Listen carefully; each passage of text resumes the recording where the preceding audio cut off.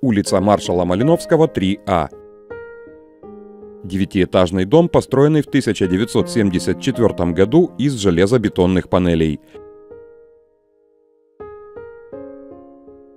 Четыре имеющихся входа в парадное поддерживаются в удовлетворительном состоянии. Стальные входные двери оснащены домофонами. Во дворе есть общая с соседним домом автостоянка и небольшая парковочная площадка. Возле дома находится качественная детская площадка. Совсем рядом расположен детский садик, а недалеко есть школа.